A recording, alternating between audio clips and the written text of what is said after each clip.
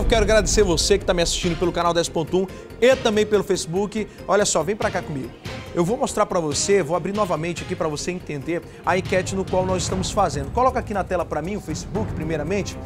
No primeiro bloco, a gente trouxe a Samara Maciel para falar sobre a prisão de um estelionatário que enganou diversas pessoas aqui na capital amazonense com a questão de pirâmides.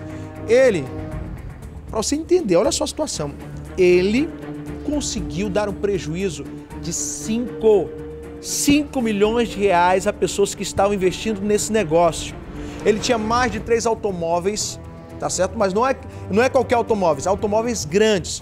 E morava em um condomínio de luxo aqui em Manaus. Ele foi preso, o amigo dele está foragido. E nós perguntamos: você acha que o presente de Natal vem fácil?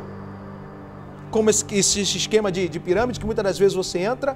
Ou você tem que trabalhar pesado para conquistar o presente? Essa é a nossa pergunta na nossa enquete. Continue votando, nós já chegamos a, 101, a 121 votos e a gente espera, tá certo? Pelo menos chegar a 500 no final da tarde de hoje. Essa enquete vai ser encerrada amanhã, tá certo, meu povo? Agora vem para cá comigo, meu diretor.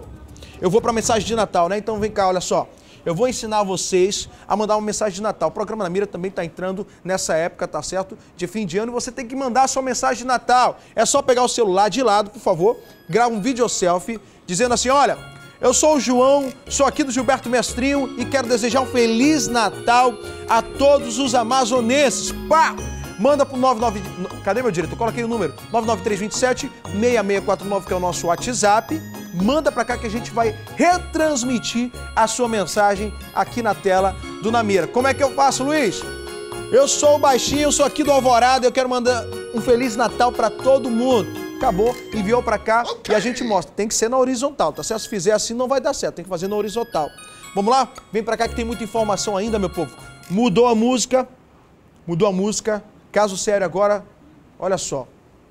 Usando um gorro de Papai Noel, um homem entrou e assaltou uma drogaria aqui em Manaus. Não! Não é mentira, não. Ele colocou um gorro de Papai Noel entrou e fez a limpa na drogaria. Quem conta essa história é Samara Maciel na tela do Namira. Exatamente. Esse homem ele não agiu sozinho, ele teve a ajuda de outros homens também.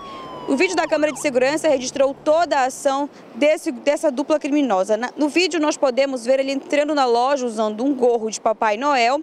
Ele com uma arma de fogo ameaça a mulher do caixa e os clientes. Em seguida, o comparsa dele usando moletom e bermuda entra com um facão, mais conhecido como peixeira. Eles ameaçam os clientes, conseguem pegar os pertences e também toda a renda da drogaria que fica lá na Alameda Cosme, no Zumbim, zona leste da cidade.